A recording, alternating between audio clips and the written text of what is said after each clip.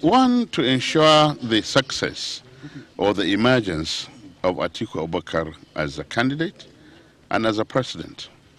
And the support group has been doing a wonderful job, going from one place to the other, one ward to the other, and uh, they will go throughout the crannies of, this, of the country to ensure that success.